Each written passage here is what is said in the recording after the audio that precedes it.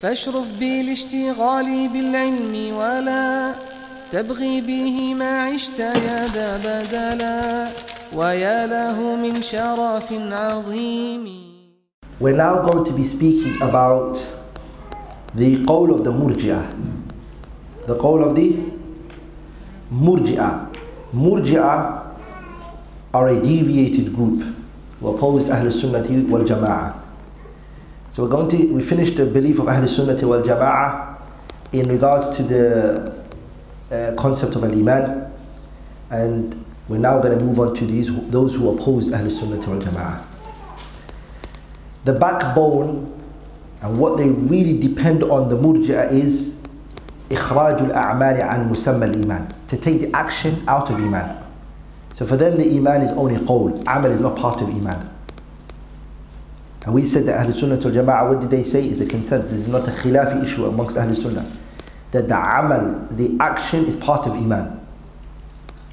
That the action is part of the Iman. This is a consensus. Not two scholars of Ahl Sunnah wal Jama'ah differed on this issue. That's the first pro- problem with the murji'ah. The second problem with the murji'ah is أن الإيمان لا يتجزأ ولا يتبعض. So the next sec- second problem is to them the iman is a one component. It's either there or it's absent. They don't believe in this asl and the kamaluh wajib and kamaluh mustahab. They don't. The iman for them is one component. So if that's the case, لا يقبل الزيادة والنقصان. For them the iman doesn't increase nor does it decrease. It doesn't increase nor does it decrease. It's one thing. It's found or it's missing. So if it's one thing that is found, then Abu Bakr's iman and Jibril's iman and the Prophet's iman and the Muslim alcoholic is the same. All of them are believers and they all have iman. So the iman is all one thing. Abu Bakr's iman, the Prophet's iman, Jibril's iman, and the Muslim alcoholic is all the same according to them. This is the asal of the madhab of the murji'ah. The reason why they were called murji'ah is because the word irja comes from ta'khir. Irja comes from ta'khir, to delay something. What they did was the murji'ah, they delayed or they actually took out the iman out of the action. Within the murji'ah, there are three views. So there are three groups of murji'ah. They all agree on one thing that unites them all, which is what? Action is not part of iman. Also, what unites them as well is that أن الإيمان لا يتبعض ولا يتفاضل ولا يزيد ولا ينقص. That the iman is cannot be broken into it can't be broken into asl and kamalul wajib and kamalul mustahab, and then the iman doesn't increase nor does it decrease. This is the asl they all have, all three groups. But within the three groups, they have differences. The first of them is the Jahmiyyah. The Jahmiyyah are a group of murji'ah. Their belief is Iman is only ma'rifatun bil qalb. That you just have to know in your heart. You just need to know. So anything other than ma'rifah, knowing Allah subhanahu wa ta'ala, the, for example, the speech of the tongue, the actions of the limbs, none of that is part of Iman. Iman is only ma'rifah, knowing Allah. Yeah, knowing Allah in your heart. And these are the worst form of murji'ah. They're the worst. The reason is because according to their definition, Iblis is what? A mu'min. Because Iblis knew Allah subhanahu wa ta'ala. Did he not say, Rabbi, my Lord? Sah? He knows Allah. So the murji'a are the worst form of murji'a. So if iman to them is what? Pay attention here, brothers. If iman to them is ma'rifah, knowing Allah, what's kufr to them? Al-jahlu billah, ignorance of Allah. The opposite. Okay? Again, they all unite, which is what? Actions are not part of Iman, and they also unite on what? أن الإيمان لا يتبعض ولا يتجزأ. Second group of um, are the Al-Karramiyah. Are you there, brothers? The Karramiyah.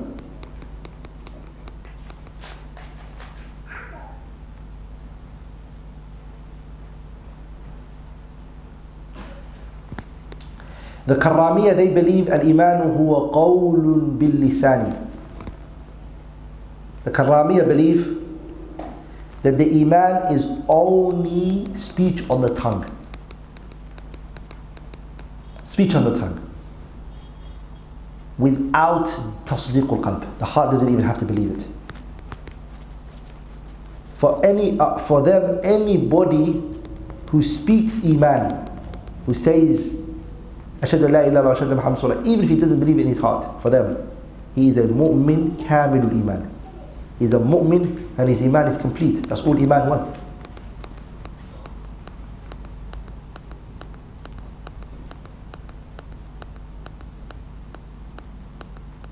Does that make sense? The second group are known as the Murji'atul Fuqaha. The third type are known as the what? مرجئة مرجئة مرجئة الفقهاء مرجئة الفقهاء they believe that the iman is what تصديق القلب that the heart has to believe وقول اللسان and the utterance of the tongue and they don't accept that the action is part of iman and they also reject tafadul iman that iman is of different levels and they also reject the concept that we mentioned before, which is istithna. And the person who said this and pushed this opinion is Hamad ibn Abi Sulaiman and Abu Hanifa. So the Murji'atul Fuqaha, what they do they believe? That the Iman is tasdiqun bil qalbi wa qawlul lisani. The belief of the heart and the speech of the action, uh, uh, the belief of the heart and the utterance of the tongue. That's it. That's all Iman to them is.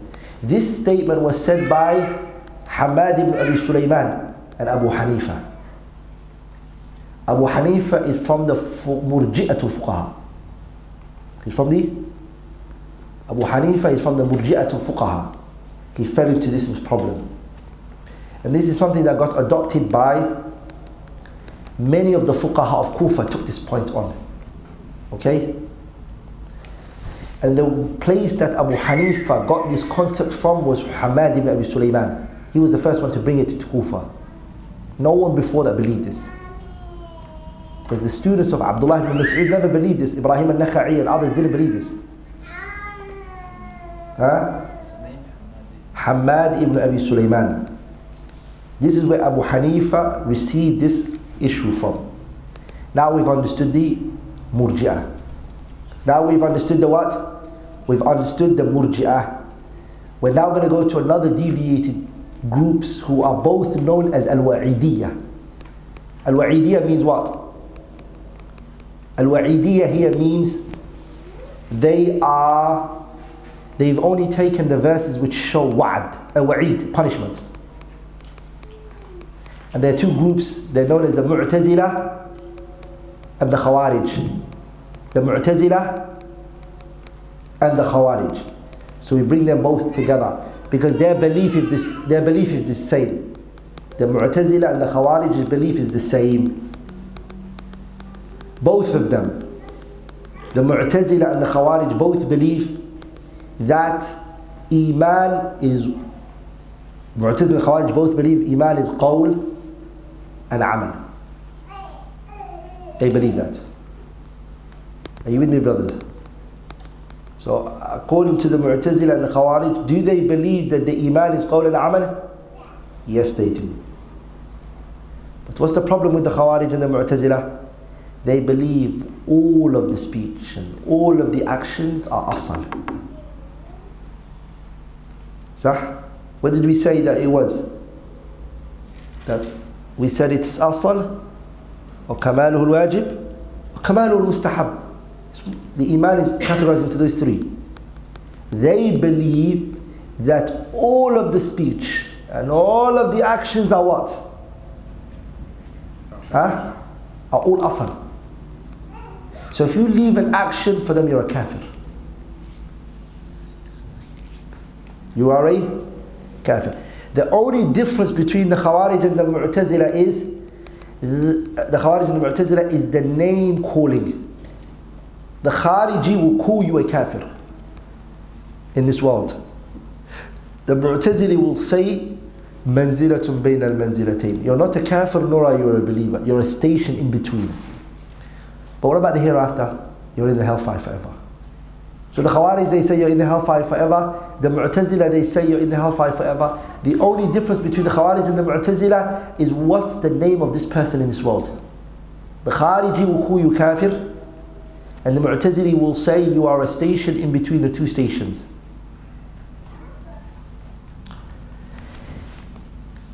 Now I'm going to mention منشأ خطأ الفرق المخالفة في الإيمان What's the foundation? What's the foundation of the groups who've opposed Ahlul Sunnah wal Jama'ah in Iman? What's the foundation? What's the fundamental root for the problem? It goes back to one shubha. It really goes and bottles back to one point. And that is اعتقادهم them believing أن الإيمان شيء واحد لا يتجزأ ولا يتبعض If you look at all, two, all groups I mentioned the Murji'ah, the Mu'tazila and the Khawarij what's the foundation? The foundation here is that they believe that the Iman is one component لا يتجزأ ولا يتبعض that it can't be broken into asal and it can't be broken into kamaluhu wajib and it can't be broken into kamaluhu mustahab. Shaykh al-Islam ibn Taymiyyah said, rahimahullah ta'ala, he said in his Majmu' al-Fatawa, the seventh volume, page 223, he said, Ibn Taymiyyah, وهذا هو أصل الذي تفرعت عنه البدع في الإيمان فإنهم ظنوا أنه متى ذهب بعضه ذهب كله ولم يبقى منه شيء He said this is the asl, this is the foundation in which all of the groups have stemmed from which is فإنهم ظنوا all of the groups assumed أنه متى ذهب بعضه that if some of your iman goes ذهب كله that, that means all of it goes وَلَمْ يَبْقَ مِنْهُ شَيْءٌ and that nothing remains. The reason why the murji'ah didn't bring the speech, sorry, the action into the iman is because if they bring it into the action, if they bring it into the iman, then the whole iman is going to be a, the whole action is going to be a asal for them. It's all going to be an asal. Because what, what they already mentioned for them is all an asal. It's all a foundation. The speech that they took, they all believe it's an asal. So they know, they believe that the action is not an asal, all of it. So they left it in totality. The Khawarij, on the other hand, they said no, the speech and the action are all of them are asal. ولذلك the scholars they said the khilaf with Ahl Sunnati wal Jama'ah with the Khawarij is in Babu Takfir. And the khilaf of Ahl Sunnati wal Jama'ah with the Murji'ah is in the definition of an Iman. Does that make sense? When you come to a Khariji who says Iman qawlu na'man. The problem with him is that when you say, okay, what takes a person out of the religion, he'll say all of action and all of speech takes a person out of the fold of Islam. إذا عند التكفير يصير خارجي ها the khilaf with the murji'ah is what? حقيقة الإيمان What's إيمان أصلا? They take the actions out of it. Does that make sense, brothers? Does that make matters very clear for you all? Yeah? Uh? Ibn Taymiyyah says وهذا هو الأصل الذي تفرعت عنه البدع في الإيمان This is the foundation in which all of the groups have stemmed from. This is the foundation. Which foundation? فإنهم ظنوا أنه متى ذهب بعضه ذهب كله ولم يبقى منه شيء. They assumed, they started to believe that if some of the iman goes, then all of it will go. This is what they started to believe. ولذلك أهل السنة الجماعة they don't, they don't believe that. There's two kitabs I advise you to look at inshallah ta'ala. One kitab is the kitab written by who? Ibn Manda. Ibn Manda has a kitab al-Iman. Ibn Manda has a book called what? Kitabu al-Iman. The second person I advise you to go to his book when it comes to this issue is تعظيم قدر الصلاة تعظيم قدر الصلاة written by Muhammad Nasr Al-Marwazi تعظيم قدر الصلاة is written by Muhammad Nasr Al-Marwazi rahimahullah those two books they expand explain and they shine light on أن الإيمان قول وعمل إلا أن له أصلا وفرعا They mention that very strongly. That the iman has a asal and it has a fara. Fara here means kamal. Kamal here is two types. Kamalul wajib, kamalul mustahab.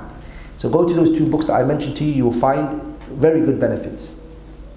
Also Shaykh al-Islam Taymiyyah, he says in another place, in his Majmu' al-Fatawa, he says, وَأصل نزاع هذه الفرق في الإيمان من الخوارج والمرجئة والمعتزلة والجهمية وغيرهم أنهم جعلوا الإيمان شيئا واحدا. إذا زال بعضه زال جميعه وإذا ثبت بعضه ثبت جميعه فلم يقولوا بذهاب بعضه وبقاء بعضه. كما قال النبي صلى الله عليه وسلم يخرج من النار من كان في قلبه مثقال حبة خرد حبة حبة من الإيمان. فهذا أصل الشبهة الشبهة التي لا this is what Shaykh al-Islam Taymiyyah said. Ibn Taymiyyah says وأصل نزاع هذه الفرق في الإيمان The asal of the dispute of these groups is in Iman such as the Khawarij, the Murji'ah, the Mu'tazila and the Jahmiyyah is and other than them أنهم جعلوا الإيمان that they made the Iman شيئا واحدا they made it one thing إذا زال بعضه زال جميعه and if some of it goes all of it goes وإذا ثبت بعضه that if some of it is left ثبت جميعه that all of it is, uh, if some of it remains then all of it remains and if some of it goes all of it goes فلم يقولوا بذهاب بعض وبقاء بعضه they didn't say what Ahl Sunnah said that some can go and some can remain because this is where the issue of tabarrud comes your aslul iman is still there but kamalul wajib is missing from you or your kamalu your aslul iman and your kamalul wajib is there but kamalul mustahab is missing from you they didn't believe that. So this is the underlining khilaf with Ahl Sunnah wal Jama'ah when it comes to the groups. Are you with me, brothers?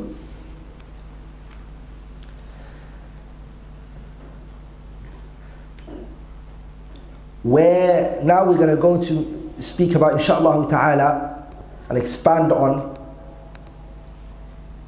the starting of takfir بغير دليل في الأمة the, the spreading of this ideology of takfir without evidence, without no evidence. How it came into this ummah and what are the factors and the causes for it. What are the things that are causing it to spread. This concept, brothers, of takfir, بغير دليل, without no evidences, is actually, as I said before, it's from the earliest deviation that has occurred in this ummah. And if you look at the early books of Aqidah, you'll find it's documented in there. And it's written in there. لذلك as I said before, the quote of Shaykh al-Islam Taymiyyah rahimahullah ta'ala in which he says, in his مجموع الفتاوى the 13th volume, he says, ولهذا يجب احتراز من تكفير المسلمين بالذنوب والخطايا فإنه أول بدعة ظهرت في الإسلام فكفر أهلها المسلمين واستحلوا دماءهم وأموالهم. He said that one should, it's obligatory to abstain, to withhold من تكفير المسلمين making تكفير of the Muslims. Based on what? بالذنوب based on sins. والخطايا and their mistakes and shortcomings. فإنه أول بدعة ظهرت في الإسلام because takfir with sins was the first early things that came about in Islam فكفر أهلها المسلمين those individuals the Khawarij they made takfir of the Muslims واستحلوا دماءهم and they made permissible for themselves the blood of the Muslims and the, and the wealth of the Muslims so this as I said is the first deviation the first i'tiqadi innovation that occurred in this ummah, which was bid'atul khawarij, the bid'ah of the khawarij. And a lot of them, they were in the army of Ali ibn Abi Talib in the day of Siffin, the khawarij. A lot of them were with Ali. But when Ali agreed with Muawiyah, when Ali agreed with Muawiyah and they came to common grounds, and they came to the qadiyah known as qadiyah to tahkim. A judgment was placed between the two. Ali ibn Abi Talib used a, uh, an arbitrary, and the same applies to Muawiyah. This is when the Khawarij reject qadiyah tahkim. They reject this action of Ali ibn Abi Talib. And they went excessive in the rejection until they said about Ali ibn Abi Talib and Muawiyah they said to Ali, حَكَّمْتَ الرِّجَالَ فِي كِتَابِ اللَّهِ You have judged men in the book of Allah subhanahu wa ta'ala. لا حكم إلا لله. The judgment is only for Allah. And then they straight away labeled Ali ibn Abi Talib a kafir. Abu al-Hasan al-Ash'ari, he has a kitab called Maqalat al-Islamiyyin where he talks about the deviated groups. He says, أجمعت الخوارج. The Khawarij all agreed على إكفار علي بن أبي طالب they all agreed on the takfir of Ali ibn Abi Talib رضوان الله عليه may Allah be pleased with them أن أن حكم وهم مختلفون هل كفر شرك أم لا وأجمعوا على أن كل كبيرة كفر إلا أن جدات فإنها لا تقول ذلك they all agreed that Ali is a kafir but within themselves they differed is his kufr is it shirk or is it not? Also, they agreed that every major sin is kufr. Except though a group within the Khawarij known as the Najadat, they don't say that. They're a Khawarij group, but they don't say that. So who were the first group that we can say that were known to do takfir without no evidences, or takfir with sins? It is the Khawarij. This is something they became very well known for.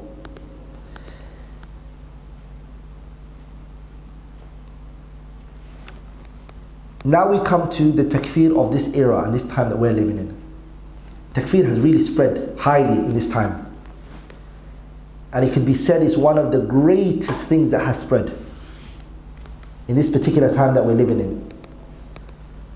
And one of the biggest reasons or the biggest sources for it to spread and allowed it to spread in the midst of the Muslims is some of the groups that give da'wah in the da'wah arena today. بعض الجماعات الدعوية Some of the groups that came out to give da'wah at this particular time those groups التي لم تنشأ على السنة who were not nurtured upon the Sunnah. And they didn't study the books of the Sunnah. And they didn't read the books of the ulama of the Sunnah, such as Kitab Imam Ahmed, and Sharh al-Sunnah Imam al-Muzani, and Sarih al-Sunnah by Ibn Jarir al-Tabari. The Aqidah books of the ulama of the Sunnah. They didn't read those books. They themselves have dwelled in bid'ah and dalalat. Some of them, إما بسوء قصد, some of them intentionally they had bad motives. That's why they did it. And some of them we can say لجهلهم الدين. Their ignorance of the religion. And so because of these individuals, it allowed takfir to spread. And it became very, very, very well spread. One of the most prominent individuals whose books have become very excessively read and the concepts of takfir has become very apparent and clear in his works is Sayyid Qutb. Sayyid Qutb, if you read his works, this concept of takfir is very prominent in his works, very prominent. He has statements which are crystal clear of takfir. And he makes takfir on a large scale. Large scale. Let me read some of his statements. In his kitab Ma'alim fi tariq which in English is translated, is called Milestones. Sayyid Qutb says, والمسألة في حقيقتها the matter in its real essence هي مسألة كفر وإيمان He says the reality of the issue is كفر iman ومسألة شرك وتوحيد and the concept of توحيد and shirk مسألة جاهلية and Islam He said the real issue the, the bottom underlying problem here we have is this issue of kufr, iman, shirk and tawheed جاهلية and Islam وهذا ما ينبغي أن يكون واضحا and these are matters that need to be clear and then after a while he says the following he says إن الناس verily the people ليسوا مسلمين the people are not Muslims كما يدعون as they claim the people are not Muslims as they claim وهم يحيون حياة الجاهلية. and the people are living a life of جاهلية. وإذا كان فيهم من يحب أن يخدع نفسه. and if any one of them loves to deceive himself أو يخدع أو يخدع أو he wants to deceive الآخرين others فيعتقد أن الإسلام ممكن أن يستقيم مع هذه الجاهلية. And he wants to believe أن الإسلام that Islam is possible for you to be upon Islam with this jahiliyyah. This jahiliyyah here means kufr. Okay, because the word jahiliyyah is a, is a term that can be used as major kufr. And it can also be used other than it. Okay, we know the Prophet used the word jahiliyyah for Abi Dhar. He said to him, إِنَّكَ مْرُؤٌ فِيهِ جَاهِلِيَّةٌ You are a man who has jahiliyyah in him. But the Prophet didn't mean takfir of it. The Sayyid Qutb mean takfir of it? Na'am wallahi means takfir of it. How? Before that, did he not just say, Inna nasa laysu muslimina? The people are not Muslims. So his statement of the word jahiliyyah, it doesn't mean other than kufr akbar. It means kufr akbar. Because of this context he put it in. He said, Inna al-muslimina, inna nasa laysu muslimina. And as we know, negating Islam from the people only takes them to kufr. Because negating iman from the person can fall into what? We can say maybe the nafyu here is nafyu, nafyu Kamaluhul Wajib. Here he's negating Islam from the person. He's not a Muslim. And I'll bring you other statements of his. فَلَهُ ذَلِكَ So he has this. He goes, وَلَكِنْ إِن وَلَكِنْ uh, he says ولكن إن خداع إن خداعه أو خداعه لا يغير من حقيقة الواقع شيئا ليس هذا إسلاما وليس هؤلاء مسلمين his deception it does not change the reality لا يغير من الحقيقة الواقع شيئا it doesn't change the reality at hand ليس هذا إسلام and this is not Islam وليس هؤلاء and these individuals are not Muslimin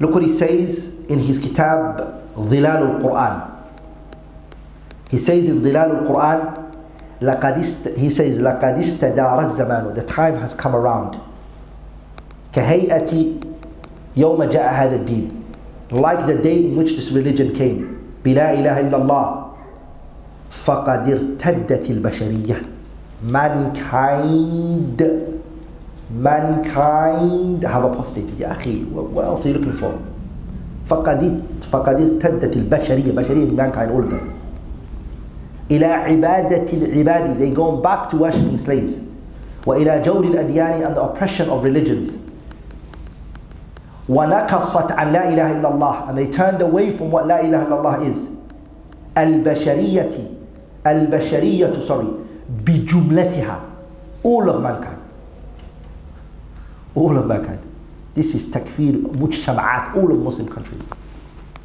so a lot of people like to defend Sayyid Qutb may Allah forgive him may Allah forgive him but his books are where the concept, concept comes from and a lot of people haven't read his works. and they defend him, they stand up for him. And when you ask them, what does he mean by this? They'll say to you, Ya akhi, Allahu Alam. Or his timing was different. So was there a time that it was allowed to do takfir of the people like that? If I say the Khawarij of Ali ibn Abi Talib's time was different, is that a good argument? Rather, the members of Ikhwan al-Muslimin themselves admitted Sayyid Qutb's works are takfir. Sayyid, look at what Yusuf al-Qardawi says. Yusuf al-Qardawi is a what? He's a member of Ikhwan al-Muslimin, right? He has a book called he has a, a kitab called. Page 110 he says في هذه المرحلة at this stage ظهرت كتب الشهيد سيد قطب. He's talking as a long statement and he said at this stage okay what became apparent is the works and the books of Sayyid Qutb التي تمثل المرحلة الأخيرة من تفكيره and it is a conclusion of Sayyid Qutb's final opinions. This is where Sayyid Qutb went through stages, brothers. You know, he was a communist before. He was an ishtiraki. He got arrested. He got to his senses. Then he went through levels and stages and, and, and, and Yusuf al-Qardawi saying to you, his final stage, final stage is والتي تنضح بتكفير المجتمع is to place takfir of societies وقطع العلاقة مع الآخرين and to disconnect from one another وإعلان الجهاد الهجومي على الناس كافة and to do jihad on everyone the Yusuf Qardawi is admitting that look what Farid Abdul Khaliq says. These are all members of them. He says المحلى فيما سبق إلى أن نشأة فكر التكفير بدأت بين شباب بعض الإخوان في سجن القناطر في أواخر الخمسينيات وأوائل التسعين ستينيات وأنهم تأثروا بفكر الشهيد سيد قطب وكتاباته وأخذوا منها أن المجتمع في جاهلية وأنه قد كفر حكامه الذين تنكروا لحاكمية الله بعدم الحكم بما أنزل الله وحكموه إذ رضوا بذلك.